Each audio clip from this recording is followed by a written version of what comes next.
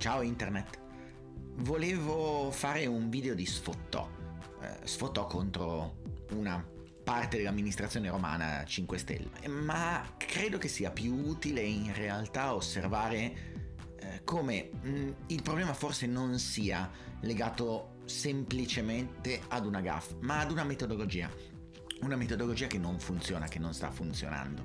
Eh, come forse avete avuto modo di vedere, il 27 gennaio eh, si è celebrata la giornata della memoria, giornata della memoria che ricorda le vittime della Shoah. Mm, vittime della Shoah che in vari eh, luoghi di tortura e di morte hanno perso la vita. Quello che vedete alle mie spalle non è un uh, muro con qualche graffito, è una fotografia abbastanza famosa che ritrae l'interno delle camere a gas e quello che vedete sono i segni delle unghie sui muri.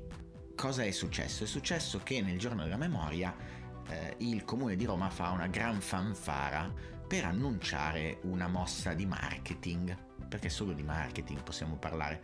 Eh, L'ATAC, l'azienda di trasporti municipale, eh, regalerà l'abbonamento annuale ai sopravvissuti eh, dello sterminio.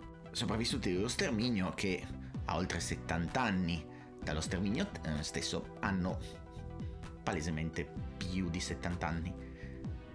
70 anni che in teoria sono già esenti dal pagamento dell'abbonamento se stanno sotto a un reddito eh, di 15.000 credo euro anno. Il problema non è la fascia di reddito o meno, il problema è che da una lieve indagine, proprio una indagine abbastanza stupida giornalistica eh, che fa Repubblica, sembra che siano già tutti e dieci i sopravvissuti romani beneficiari dell'esenzione per età. I problemi sono di, du- di tre ordini diversi. Il primo è un problema di comunicazione. Eh, il fatto di utilizzare la Shoah come metodo comunicativo per gonfiarsi tronfiamente il petto per una sponsorizzazione che mal contata saranno 1500 euro all'anno, la trovo un po' una situazione inopportuna. La seconda è il fatto che eh, questa iniziativa non è nemmeno eh, del comune di Roma in sé, ma è grazie a un'operazione di co-branding e co-marketing, quindi qualcuno sponsorizza questa parte.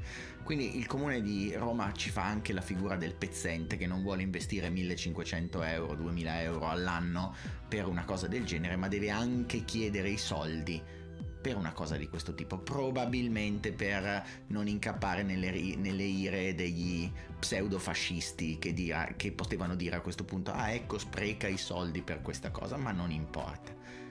La terza è molto più importante.